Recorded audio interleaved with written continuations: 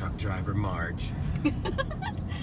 Tell him large Marge sent you. This is like a like a Shelly video, but at least we're we're not illegally.